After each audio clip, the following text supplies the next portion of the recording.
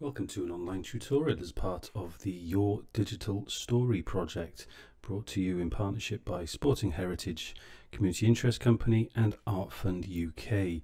It's a programme of digital activities to help those with sporting heritage collections tell their story online and improve their digital skills and literacy.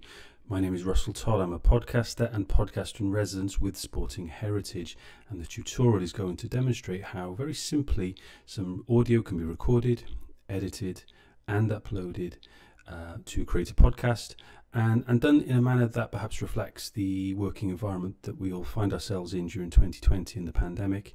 So, doing it in a socially distant manner where perhaps people are unable or unwilling to come together, or the facilities aren't perhaps available to host and accommodate those sorts of discussions around the table in a very physical sense. So, we're going to use a platform called CleanFeed, and I'm going to walk you through the simple steps how to set that up and uh, capture the audio.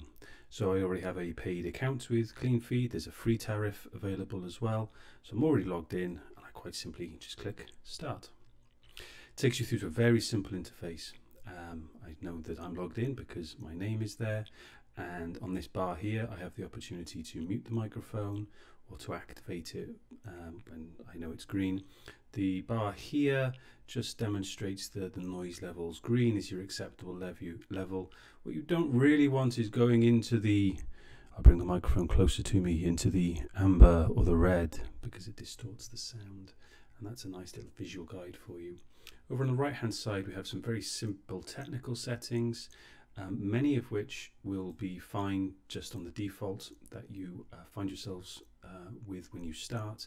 I'm using a USB connected Blue Yeti microphone, so uh, I will use that, but others are available, not least the, the uh, inbuilt microphone that my laptop, laptop has.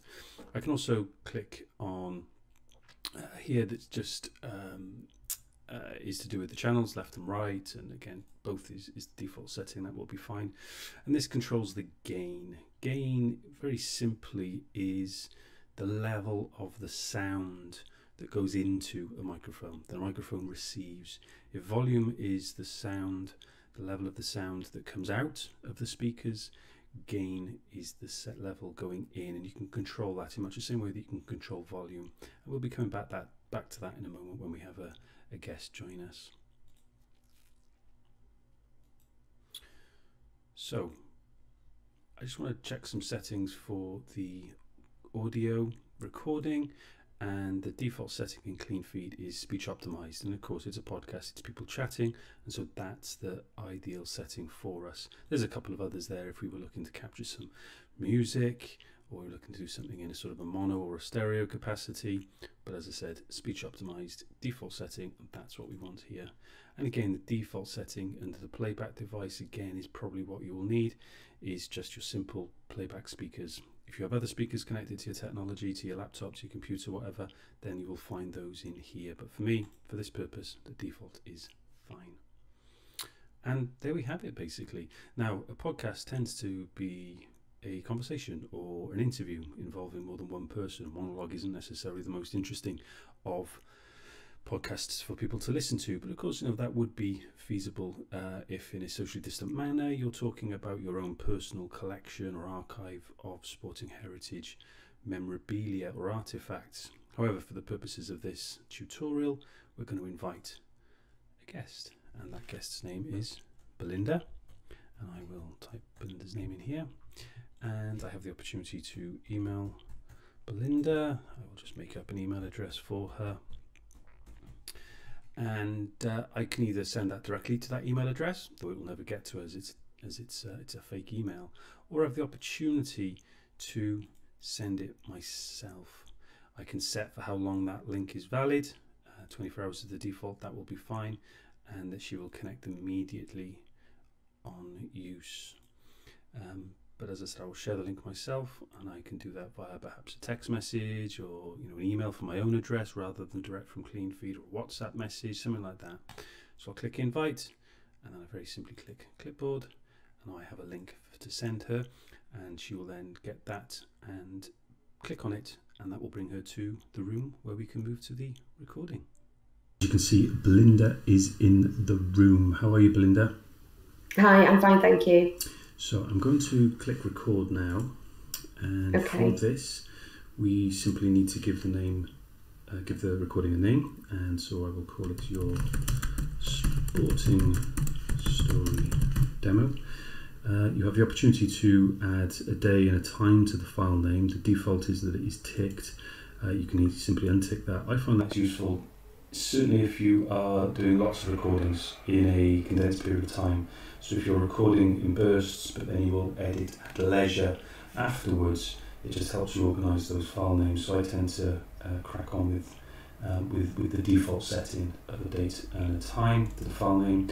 You then have the opportunity, and this is really really key. You have the opportunity to record different number of tracks. So for the purposes of this, I won't go into the technical details of it, but I want the multi-track. So what happens there is my browser records me, how I'm speaking, and it will also separately, and that's the key thing, record Belinda on her own. So there'll be no uh, no me on Belinda's track. There'll be no Belinda on my track. Now, if I wanted it all to be in the one mix, just a single track, I would click the everyone setting, but that can make it tricky to edit. If I just wanted Belinda and didn't want to pick up my voice on this, then I would go guest only. And of course, you've got the opportunity for only yourself and not guests. But for this, multi-track is uh, is what I want. And as it says, it's perfect for detailed post production, and the quality is always key with the podcast. If people can't hear it, the, the, the audio quality, or people are talking over each other, they can get quite fatigued and they will then tune out. Not only that episode, maybe all of your other episodes. So, when I'm happy with all that, I click record, and you now see that again, it's not, it's not really cluttered the, the interface uh, much at all. I've now got file name, your sporting story demo, the red light is on for record. You can see a little timer here. I can pause that though, which is great just if you get interrupted, if you know Amazon comes to deliver something, and you can just simply start again. Um, and I will come to a couple of the other settings in a moment. So yeah, Belinda, you're okay, yeah? I'm fine, thanks. Yeah. Now I need to make sure that you and I sound okay. I've tested okay. my levels. I need to test your levels. So um, you just keep chatting. How is uh, how's the weather? Um, it's awful actually. It's really, really rainy and a little bit cold. Nothing like it was last week. Oh dear, sorry to hear that. Um, yeah, it's pretty rubbish. I won't tell you that it's it's sunny here. Is it sunny there? yeah, that's typical. Um, okay. it was nice yesterday, so. You're sounding perfect. I'm turning you okay. down just a notch, which is a nice problem to have. It's easier to take volume out than to put it in at a later date. I'm going to stick to the stereo settings. Uh, you're wearing headphones? I am, yeah. Cool. Headphones are great for uh, clean feed because what they tend to do is they uh, reduce the feedback. Sometimes you can get a little bit of an echo, uh, and it's just part of the technology. The headphones cancels that out. But if Belinda didn't have any headphones, there is a setting that can um, the, the, the, the spires, I suppose is the best way of describing it, to cancel out that um, that potential feedback it, it isn't 100% perfect. So wherever possible, get your contributors, get your guests to wear headphones. So put that back into stereo. So yeah, um, we're ready to record whenever you okay. are ready, Belinda. Um, to okay. make sure that you are at ease, you're comfortable, you know what you're mm-hmm. doing. If there's any questions, feel free. I'm going to start it in a moment by um, welcoming people to the podcast, inviting you to introduce yourself, and then we'll see how we go. Is that right? Okay, that's absolutely fine. Cool. Yeah. So, welcome to a Sporting Heritage podcast. My name is Russell Todd, and this is a podcast as part of the Your Sporting Story campaign. Uh, it'll be hosted on the Sporting Heritage channel on SoundCloud. That's sportingheritage.com forward slash sporting heritage. There's a range of content there from other projects related to sport and heritage in the armed forces, for example. There's content from the uh, annual conferences uh, that Sport Heritage have hosted in the likes of Liverpool, Bradford, Cardiff over the last few years, uh, and there's some others that are more sort of standalone. But we're going to talk about the Your Sporting Story campaign with um, with Belinda. How are you, Belinda? Welcome to the podcast. Hi, I'm well, thanks. Thank you for having me. No, you're welcome. Uh, what do people need to know about you? Um, well, I am a, a, project coordinator on the Your Sporting Story campaign, so I'm working with Sporting Heritage CIC, um, but I'm also a curator at the National Football Museum in Manchester. So um, I'm really interested in sporting heritage and how we, we share it with as many people as possible. Cool. Made my first visit to the museum, the football museum, it was two years ago, and I was, was thoroughly thoroughly impressed by it. Oh, good, It's good. a terrific, uh, a, a terrific um, facility that's uh, that's there for people. Um, and hoping that there's going to be a, Welsh equivalent in, in Wrexham before too long. Yeah, that would be great. Yeah. Which is uh, one of the episodes that's that's on that SoundCloud channel that I referred to. Um, so so today we're just going to talk briefly um, about your sporting story. You've kind of prepared uh, a memory or a, a story to share with people. Yeah. So uh, what do you want to what do you want to say? Yeah, it's, it's just to say, say that everybody has a sporting story, probably, even if you don't consider yourself to be particularly sporty. So when I was a, a, kid, I was quite a sporty kid. Um, I liked taking part in all sports at school. Um, and I've got, I suppose, a pretty typical story for um, a girl born in the 80s. So although I liked all sports um, and football, I sort of was sort of semi pushed towards the sort of more typically um, female sports. So I ended up taking up gymnastics quite seriously. Um, and I absolutely loved it. And I went from sort of training one day a week up to one point at the it, training around five times a week. And I was eventually on the on the regional team on the Northwest squad, um, which you know I still hold very dear to me as something that was a big achievement, and I have lots of medals and trophies from that period in my life um, that are sort of stored away in a cupboard somewhere. And that's the type of object that we're trying to share on this Your Sporting Story um, project. Is is getting those heritage stories out there from your own personal story or from a collection you might have at home. No, it's great, and uh, it echoes with certain memories um, that I have from, from playing sport um, when I was, was young. Um, really grateful for your time, Belinda. Uh, we're going to wrap it up. That's okay. There. Um, I'll let you know when the, the editing is all done and when it's on SoundCloud. I'll share with you the link, and then really you can do with Great. it what you like. And uh, yeah, it'd be good to um, good to good, good to see maybe some of those those medals in a more visual uh, medium Yeah. one day. Yeah, definitely. That would be great. Thank you very much. No, you're welcome, Belinda. Thank you. Bye. So that's our little demonstration podcast. Okay. Belinda is still in the room because she is still here. I could mute her if I wanted, if I had other guests I just wanted to cover some material with or to talk through some specific instructions. I can mute her so that Belinda doesn't make any um, unintended uh, or unwanted uh, contributions and noises or unmute her. And uh, yeah, so all I need to do is to let Belinda carry on with her day is to click on this X and she is uh, essentially removed from the room. Uh, she can get back in via that link, but uh, you obviously communicate to your guests that it's already and uh, the recording is over. So, Belinda, I will Yeah. kick you out politely Brill. of the room. Okay. Yeah. All right. Speak to you soon. You too. Take care. Bye. Bye. And Belinda is gone. As simple as that. I could, if I wanted to, send another link to somebody else to contribute, all in this one recording. It's still recording as you see with the counter. Uh, it's still picking up my voice as you can see. Um, but we're done. So what I'm going to do is, uh, and this is the important bit, you don't want to lose this recording. Belinda's kind enough to make her time available in what might be a busy schedule and uh, you don't want to be pestering people to go back again. That stands to reason. So I've got a couple of options here. I can download the individual track by clicking here. I can download my individual track, or I can just bring them all down in one go. And you will see in the bottom left hand my browser, which is Chrome, which is the, the browser that CleanFeed recommends you use. And so we have our zip folder here from CleanFeed with the file name that we recognize, your sporting story demo, the day and the time that it was downloaded. Now I've already unzipped the contents and uh, put them in a new folder. And you'll see the two tracks that we recorded in CleanFeed. It's got Belinda's track that her browser recorded, and it's got my track that my browser recorded. They're both WAV files, which is the default that uh, CleanFeed uh, gives them to you. Uh, there was also a clips file, but uh, we don't need to bother ourselves too much about the clips function for the purposes of the demo. What we need to do now is to drop these into Audacity. Now, uh, Audacity is a simple, free piece of software that you can download. Uh, it's got a lot of features uh, which can make things a bit more complicated, but for the purposes of this demo, we're going to just use some of the very simple editing features around sort of cutting and deleting using the silence function.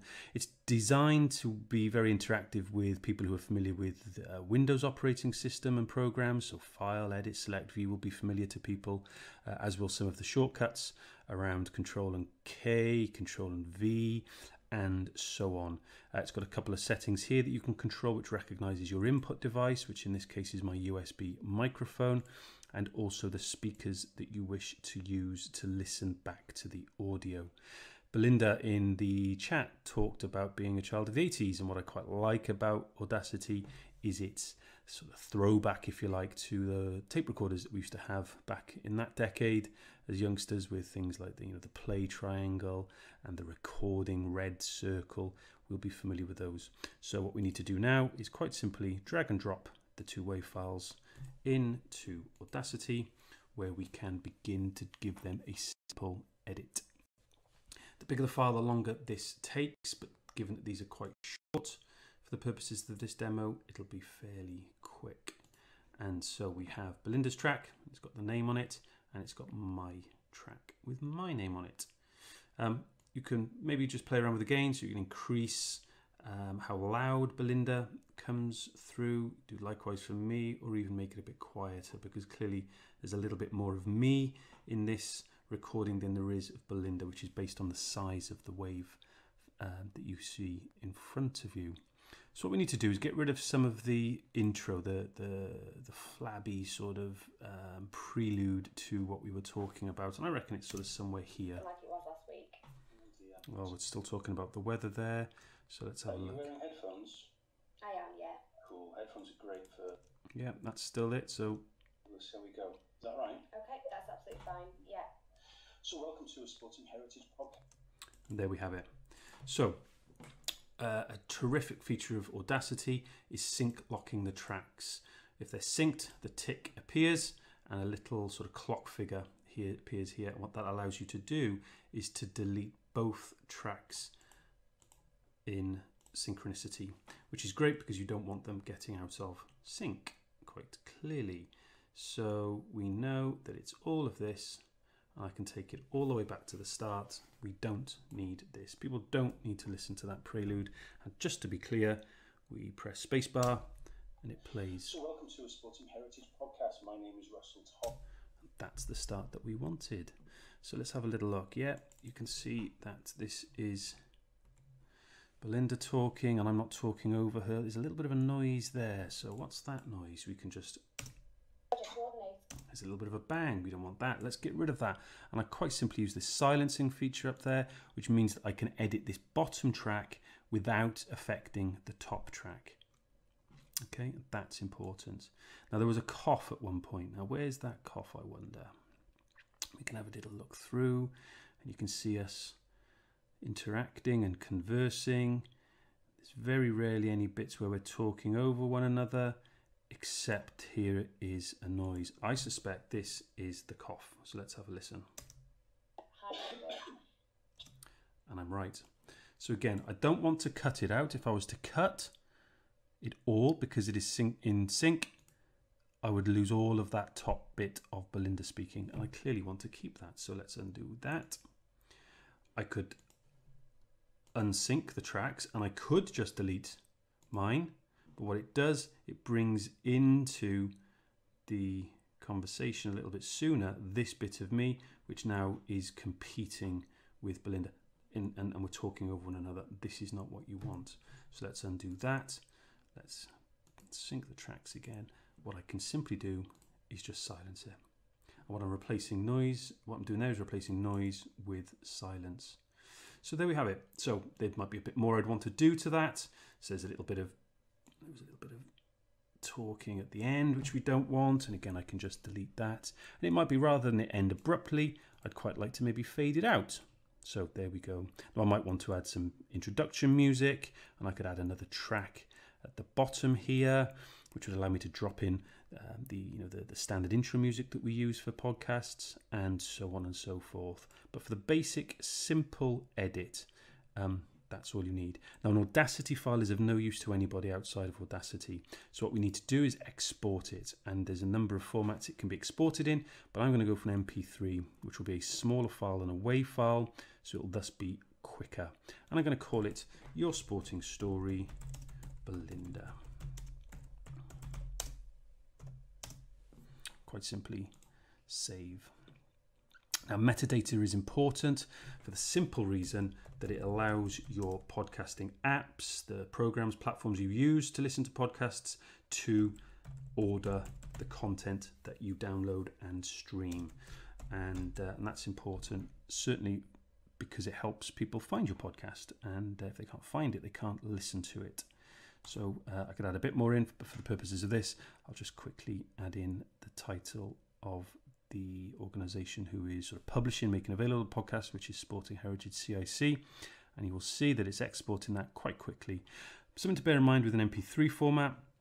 For every minute of audio that you've recorded, Audacity will uh, export it about uh, one megabyte. So one minute is equivalent to one megabyte. A 40 minute conversation is a 40 megabyte file. So they are quite large um, as, uh, uh, as, as files can be. Now we go back to check where we've saved it and it is all there. So here's some of the metadata pulled through. I could have added a bit more as I say. It's got the title and it's got the MP3 file um, file type listed to make it distinct from the source. Now I, I would keep hold of those because it could be that I want to go back and make another edit um, if I if I so wished. But uh, we've now got our finished podcast file. And so now I go to SoundCloud where I have logged in as Sporting Heritage. And here are some of the playlists that we have for the project, individual projects that Sporting Heritage is running, some of the content that is sort of standalone as well. But for the purposes of this, I simply want to upload a file. So I go to upload. I look for the file and it's in the downloads folder we know it's in here and there it is. And so I download uh, that and you'll see it uploading here quite quickly. You'll see this bar moving to the right uh, which is uh, what we want to see. I can change the URL perhaps to put Belinda Scarlett maybe. Um, it's ooh, it's not a genre as such uh, so I will just list it under sports. Um, what sort of tags might we use? Well, it's potential, potentially the case that people are searching for sporting heritage, um, or they might search for your sporting story, given that's a wider campaign. So I might put those in to help people find the track. The description I think is always helpful. It gives people a little bit of information as to what they're about to listen to. Uh, it's courteous if nothing else. Uh, and I've prepared some of that already and so I can just paste that in and uh, there we have it. It's a private track because we don't want people to be publicly listening to this. It's just a demo track. I could make it public or I could schedule it if it was part of a broader campaign or if I was on leave or something like that to schedule it to go live at a later date. It's also important to put an image just because it makes it a bit more visually eye-catching and uh, given that Belinda was talking about sport in her childhood, I thought this might be a playful, mischievous way of uh, relate, relating the content uh, in some sort of image way. It's a sign I'm sure many of us will remember from our youth, and and that's it, sort of done. It says that it's click save, uh, that it's ready, that it's click save to post this track. Uh, I'm happy with all of that. I've got a little bit more metadata that I can put in here. So for the purposes of this, I'm going to say that not only is the artist Sporting Heritage, it is also the publisher. It doesn't contain any music, so I'll make change that. And I will also make it clear that it contains no explicit content, but a bit more I could do. But for the purposes of this, I think that is fine. And so now I have a track. Let's go and see what it looks like alongside the others and here it is. I'll delete that, which is an earlier version of this that I prepared. And again, it shows how quickly something can be deleted. And here we have it, alongside all of the other tracks. It's got the information that we've uploaded. It's got the picture that we recognize. It's categorized under sport. That's the title we've given it. Here is the URL that we've given it. And uh, it could be that I see something that I'm not happy with and I just want to tweak or change or correct, like a typo, and I can edit it here. I can add it to a playlist if it was part of uh, uh, another particular project. Um, but for the purposes of this, I just want to show how you could share it. Because it has its own unique URL, it is quite simply a case of just copying that and pasting it into an email or a message of some description. I can also share it from a particular point within the recording, say from one minute 40 seconds, and uh, and, it, and it would um, the link would automatically play at that point when people click on it. Uh, I don't want to do any of that just for the time being. Uh, and there we have it. That is quite simply how you prepare your podcast, how you record it via CleanFeed, how you edit it via Audacity, and how you could use SoundCloud to host it and distribute it.